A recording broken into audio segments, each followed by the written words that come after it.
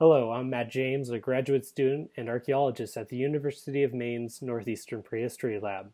My focus within the field of archaeology and the focus of this video is on Wabanaki ceramics, made between about 3,000 and 300 years before present.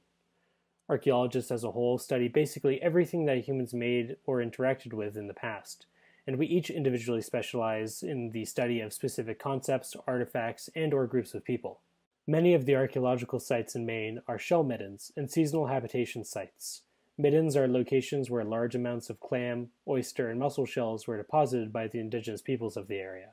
Within these refuse piles, we can also find many other artifacts, including the remains of other animals and the tools with which they were caught, butchered, and cooked. Projects at our lab primarily focus on these types of remains, artifacts, and sites, and some of my other colleagues worked with dog remains, fish and shellfish, and the now extinct sea mink. Other archaeologists at UMaine also work abroad in places such as Peru and Croatia. During my undergraduate program at the University of Maine, I was fortunate enough to participate in field schools outside of the United States and study other aspects of archaeology. This included the excavation of mummies in Peru and the excavation of ancient hominids in South Africa. There are so many interesting things to do in our field that it can take a while to really know exactly what you might want to specialize in.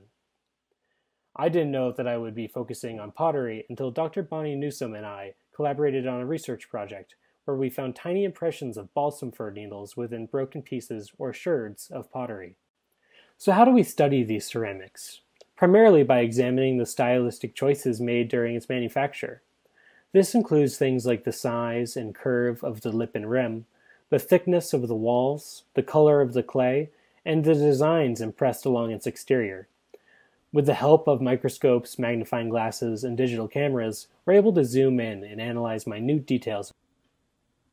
Of course, this is after the artifacts have already been excavated, bagged, tagged, and cataloged. I know this doesn't exactly look like much, but most of the pottery we uncover has been broken up into small pieces over the hundreds or thousands of years that it's been underground, allowing us to really catch a glimpse of the details that lie inside each individual sherd. While I don't recommend or encourage smashing pottery, it can be useful to work with the small fragments. In fact, the impression of balsam fir needles left inside the sherds we discovered would not have been visible if the pottery was fully intact. One of the main goals of our analysis is to group each sherd into vessels. If we're lucky, we can start reassembling the sherds into a pot, like a 3D puzzle, although we're rarely able to find all of the missing pieces. Much like starting on the corners and sides of a normal puzzle, we usually begin grouping our sherds from the rim. This part of the pottery is often uniform and well decorated, and is therefore much easier to analyze. Now that I've talked a bit about the basics, let's analyze a piece of pottery together. There are many qualitative and quantitative categories within the analysis of a single artifact. From just visually examining a sherd, we can learn a lot about when and how it was made. Let's look at this rim sherd. Perhaps the most easily recognizable details are the designs on the exterior. These punctates, or holes drilled partway into the clay, are apparent just 2 centimeters below the lip. Being a part of a much larger puzzle, we can see a second sherd attached to the bottom of the rim.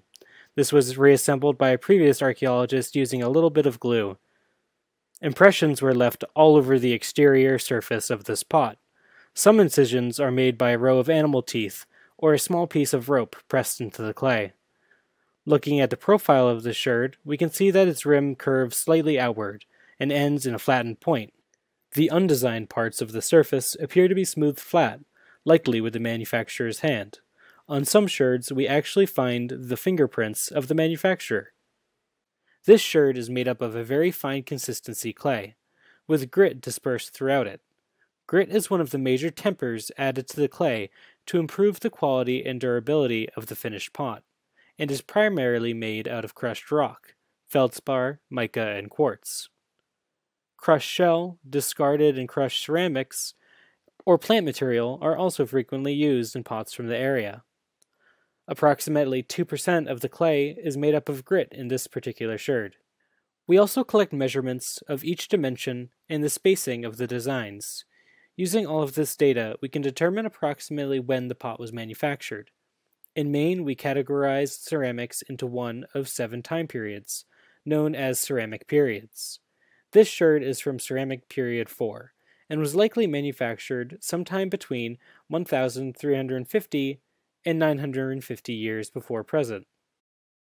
In 2018, Dr. Newsom and I discovered that alongside the normal grit and shell tempers, we were also finding small impressions of individual balsam fir needles throughout certain pots. The fine consistency of the clay made it extremely well suited to capturing the details of the needle, which subsequently eroded away or burned away. Analyzing thousands of sherds, we found many instances of exposed imprints. Using microscopes, macrophotography, and samples of various pine, spruce, and fir needles, we determined that balsam fir was the likely culprit. The inclusion of these needles is important to archaeological research in Maine because we previously only believed that grit and shell were used in ceramics. Unfortunately, a limited amount of research has been done on ceramics in the area, but plenty of research has been done on other aspects of archaeological and material culture. Additionally, much research has been done on the ecology, the plants and wildlife of the foggy Maine coast, where many of these artifacts are from. Many of these sherds were excavated nearly a decade prior to our analysis. It can take quite a long time to sift through the immense amount of materials that are sometimes recovered from the site.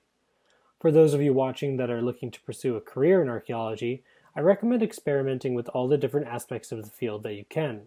There's generally a backlog of artifacts to analyze, and here at the lab, there are plenty of opportunities to study indigenous and historic artifacts of all types.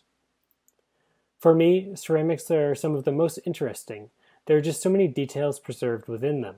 It's especially exciting to find sherds and pots that break the norm or have special characteristics such as fingerprints.